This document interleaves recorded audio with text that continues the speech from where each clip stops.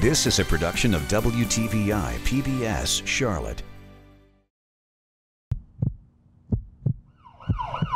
Lying in the ambulance on the way up here thinking, what have I done? There was no pain, no great pain, you know, it was not the Hollywood thing where you got your hands around your throat. It, it, it, it sneaks up on you, it's insidious. But less than a year after his heart attack, 57 year old Doug Presley enjoys his cardio rehab class with a little classic rock. I'm happy because I'm still here.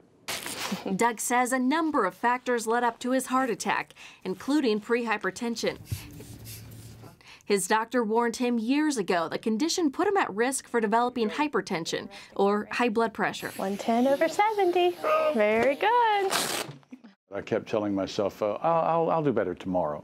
You know, I'll exercise tomorrow. I won't eat junk food tomorrow. According to the CDC, or Centers for Disease Control and Prevention, blood pressure refers to the force of blood pushing against the walls of the arteries as the heart pumps. Think of your heart muscle as one of these resistance bands. When your blood pressure is high, your heart is being overstretched again and again.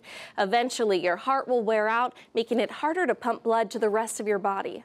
High blood pressure damages arteries. It can damage um, the heart, it can damage the kidneys, uh, it can damage the brain.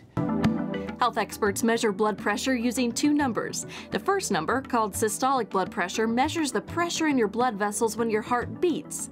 The second number, diastolic blood pressure, measures the pressure in your blood vessels when your heart rests between beats.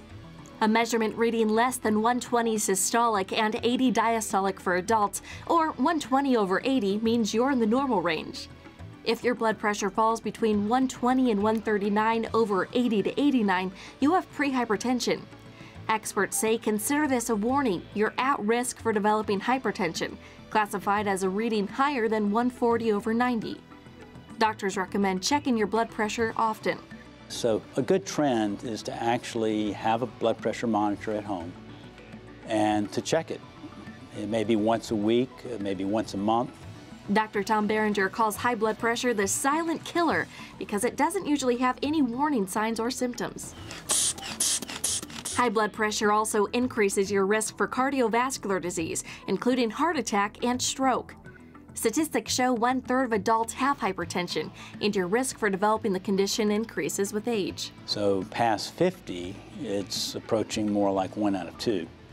And past 70, 75, you're actually seeing more people with elevated blood pressure than with normal blood pressure. The CDC says African Americans develop high blood pressure more often and at an earlier age than Caucasians and Mexican Americans. And this may surprise you. Women are about as likely as men to develop hypertension. Several factors, including family history, health conditions, and an unhealthy lifestyle, can also lead to high blood pressure. I probably going through five Coca-Colas a day. Following his heart attack, Doug enrolled in this 12-week cardio rehab program. I can go ahead and put in the target heart rate range that we have now. Here, he worked with a registered nurse, exercise physiologist, and dietitian to lower his blood pressure from 140 over 93 to 112 over 73. He also lost 35 pounds.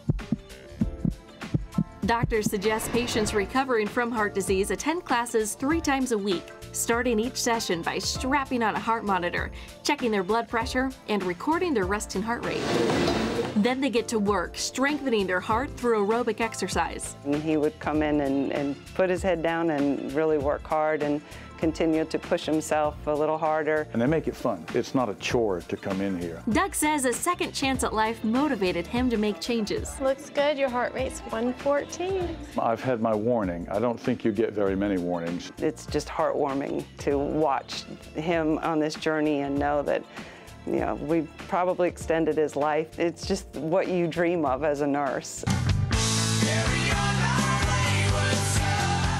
Just as these resistance bands stretch to help strengthen muscles, this class helped Doug stretch out of his comfort zone to help strengthen his heart. Now a proud graduate of cardio rehab, Doug takes each day in stride, continuing on a path towards better health. For Carolina Impact, I'm Danielle Koser reporting.